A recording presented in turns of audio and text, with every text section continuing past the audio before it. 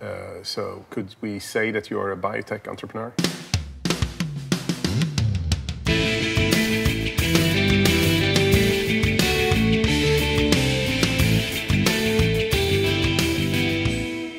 Yeah, I, I guess. Um, we do a lot of electronic implanting and uh, we develop hardware for implanting.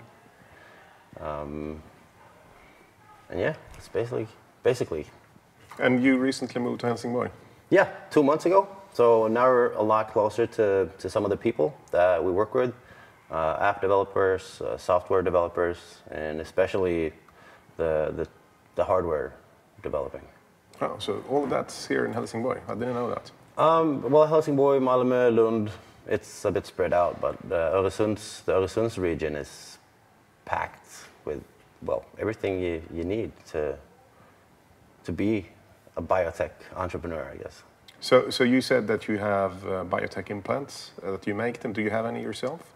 Uh, I've got several, actually. Um, the, the most common one, and the one we uh, sell the most and perform the most, is a regular NFC chip. It's an NTAG 216. It's a 1K passive memory that's uh, encapsulated in uh, bioglass capsule. So basically, you teach your body how to speak machine. Uh, you can program it with lots of different triggers. Uh, you can have business cards on it. You can use it as a door opener, uh, uh, activate and deactivate alarms. You can program it with several big macros to communicate with your home when you get in the vicinity of it. Um, well, basically, depending on your software skills, you can do So basically, it's a way for, for machines to recognize you. Yeah, I mean, the, it gives you a seamless interaction since I can't speak machine, um, but my body knows it. So Can, so do you have other implants? a, um, a silicone implant, actually, that we're going to change uh, as soon as we come up with the, the best type of hardware, encapsulate it, we're going to change because this is just a chunk of silicone, basically. And So making can- a hole can- for something useful. I can actually fit that with, I mean, from the size of that thing, 50 sensors, um, Bluetooth, probably Wi-Fi. Um, it's kind of big, but that will never go mainstream. So the the dedication and most of the work is to make it as small as possible, or else it will never go mainstream. So wh- what will go mainstream then? Uh, I, I can see the identity cards going mainstream, but I would say basically any implantable tech that gives you uh, from as small as a, the novelty of opening a door to transactions, bank ID, um, if you well Fitbit when the when the tech is small enough. Basically everything you can do with your phone and with all the cards you have in your wallet so can be replaced with yeah. one chip. What about charging? Um, right now they're passive, so you don't need charging. The, the NFC is uh, 100% passive, so you just have to be in the vicinity of an antenna that mm-hmm. powers up the chip. Mm-hmm. But when it comes down to like heavy encryption and reading pulse, and especially Activity. whenever, whenever you have to transmit anything, of course you need you need power. So there are battery powered implants right now, um, but they're only on a proof of concept level. Uh, they work and they light up LEDs, uh, but instead of the LEDs, you can put different types of sensors on them. Um, and of course, then you just, just have uh, induction charging. In England, for instance, you can pay with uh, uh, contactless um, uh, credit card, and I, even in Sweden, we have uh, ICA Banken doing that. Yeah. So that would be one of the usages. Definitely. I mean, the, the, the Visa card is only the, the carrier of information. I mean, both MasterCard and Visa are looking at uh, both uh, contactless and, uh, and fingerprint sensors in the, in the cards. Um, but I mean, putting it behind physical encryption, it's, it's, not, it's not far off. there's loads and loads of bureaucracy surrounding banks and everything with payments, but uh, there's so many alternative ways now of paying. You know, Swish, PayPal. There's uh, there's alternative routes around the bureaucracy, I guess. But just have to come in contact with the right people. So, so uh, fitness bands and so on. In the future, we might not even have them. They're just implants. Yeah, definitely. I mean, a wearable. 50% of every person that has ever bought a, a wearable doesn't use it after two to three months. I stopped using my um, wearable a few weeks ago because after one and a half years, the, the outer layer of the metal was worn off, and it turns out the lower layer, layer had nickel in it. Oh, if that happened with an implant, Oh, that couldn't happen. Um, you'd, you'd of course have the same safety measures as you'd have with any, any medical implant. So all components would have to be uh, alloy free or really good alloys. But the outer layer, well, the implant itself, you would parylene coat that. Uh, parylene coating for electronics is what you use for um, deep sea exploring. Uh, you know, submarines that go down 10,000 meters. So the ele- electronics themselves would never be exposed to the body, even if the implant silicone layer uh, was compromised. So you'd always have that extra precaution. But if the parylene broke as well, you would have to be in a serious car wreck or something because they're super, super durable. Do you think that uh, healthcare will start using it for patients? Um, I can see uh, a lot of a lot of pros uh, with the logistics in the, the healthcare system, at least in Sweden, for both patients and doctors and nurses. Uh, right now, they have somewhat 20 different systems they have to log in and out of for patient journal, journals and, and the patient history, this and that. If they could only have uh, identity authentication, logging in, in and out, that would cut hours out of every day of administration and logins and, and stuff like that. But, uh, and for uh, patients, for patients, just blipping in or blipping your phone like a bank ID when you're are, when you're on the way to the hospital. Blipping your phone, uh, just pointing a cursor on the map saying, "I'm going to this hospital. This is me," and they will have your entire history of well everything. So they could basically be prepared whenever you come. So, so 30 years ago, I read about this new upcoming technology where people would have like optical uh, memory cards with their entire health record on it, and they would bring that to the hospital. Now you're saying no, well, it's kind of the same thing, but it will be in, in an implant. So, it seems like this has been a dream for many, many years. So what's the iPad.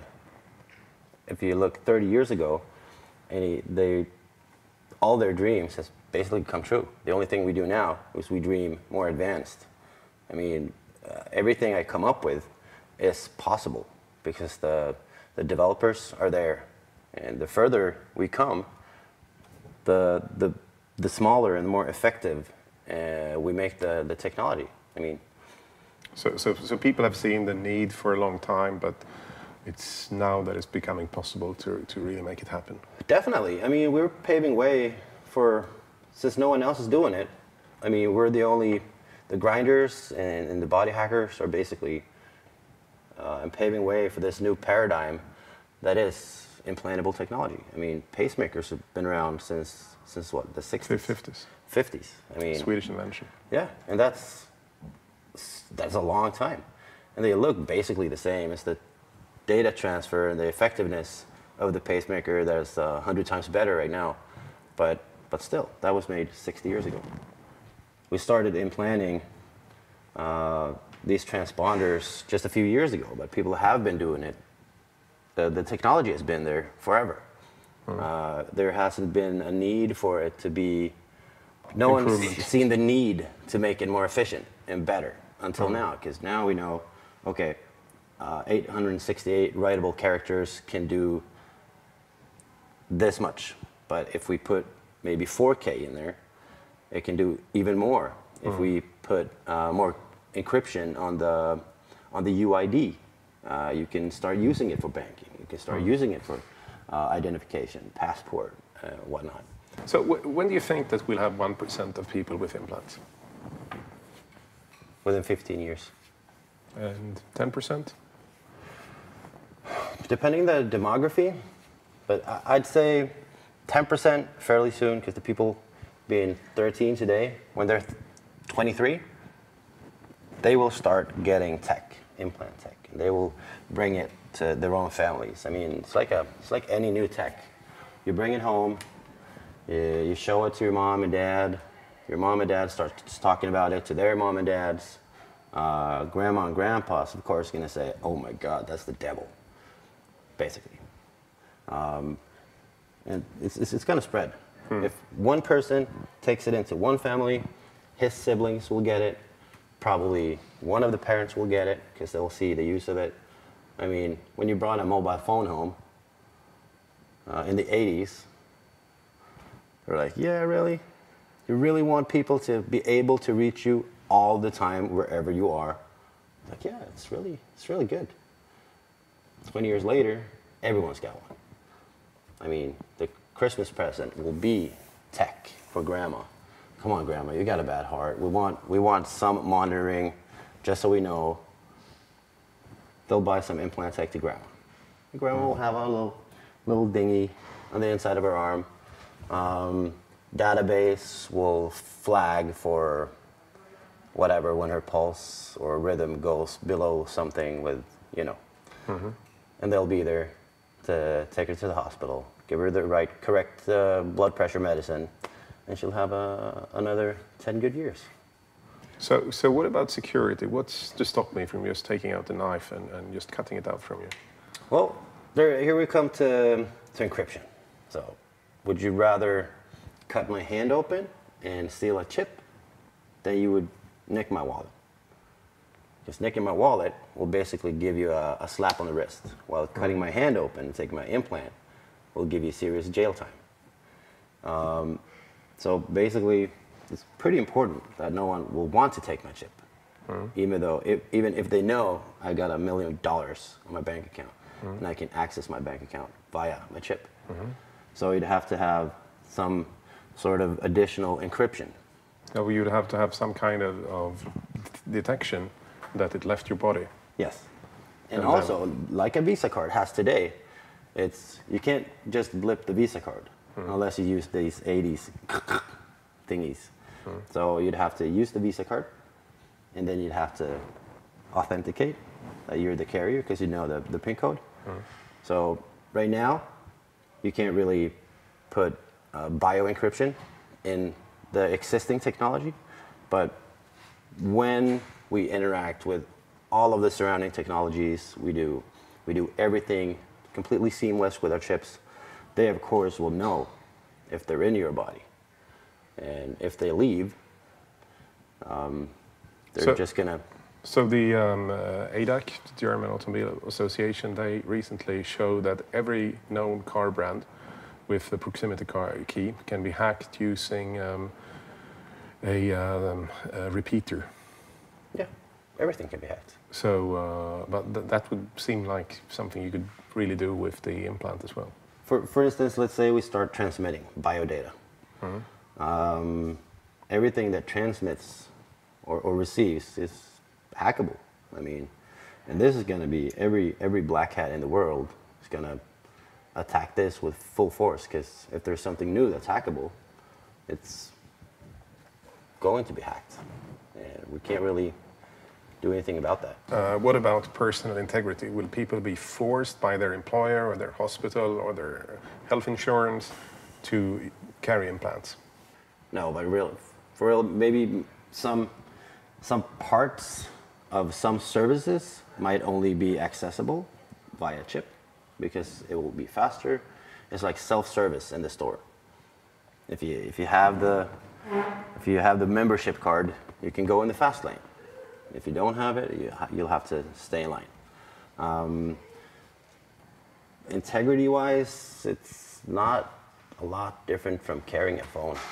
I mean, my phone gives away a lot more than than a chip ever would. unless we talk biodata streaming. Um, we've been thinking about that, and when you stream biodata, that's pretty personal and private. So you'd have to uh, detach the, the social security number or your personal number from the data before it goes into a data lake, but extracting it to be able to use it uh, for, you, for yourself or your doctor or whatever, there would have to be some kind of pairing that the, the data alone would never be able to be referenced to you So, so, so there are some measures like obfuscation and anonymization and, and yeah, of course. I mean, we're not we're not there yet. It's a it's a long way, but um, I mean, So- of course, so- you have so, to yeah, it's- it start seems thinking about the ethics when you develop. It seems to me like there's there's a long future ahead of us in this field, and, and, and it's only when we start doing it that we're going to discover. Yeah, but I mean, ups and we're, the, every everyone, and now I'm talking my global network. We're all thinking about these things. I mean, ten years prior to, to actually being there, Mm-hmm. and we know that if you can put an ID card and a passport in a chip, some governments or some parts of governments will, of course, want to utilize that in uh, in a way that's not compatible with with personal integrity. And some persons in society will, of course, also try and take advantage of people having. Um, it's like that you do today, really. If you don't, uh, if you don't set certain settings on your phone, Google Maps will use your location, uh, Facebook will use your everything. So it's really not any different from now. It's only since you hear it's an implant. There's there's all this about oh government's gonna big brother yada yada they're gonna track you and everything. Well, they they already do because everyone's saying that on Facebook isn't surfing via Tor on a black phone uh, with a private VPN. Uh, so every, everything has flaws. Nothing is flawless.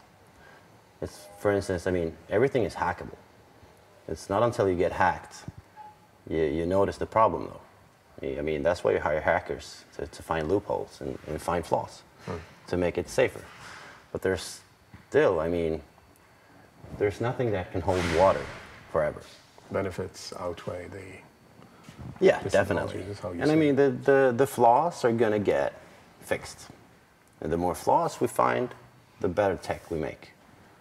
So uh, thank you very much. It Yeah. was very interesting to speak with you, and uh, good luck with the uh, biotech hacking. Thank you.